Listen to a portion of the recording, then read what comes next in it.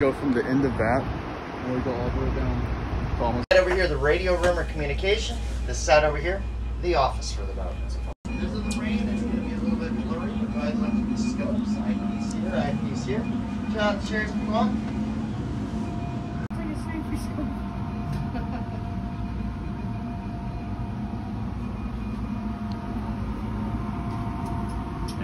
Uh, a lot of practice.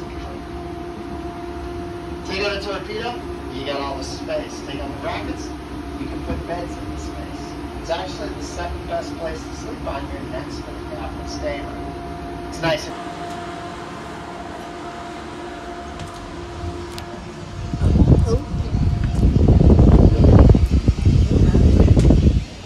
What's going on in here? Exactly how big they were in the boat too.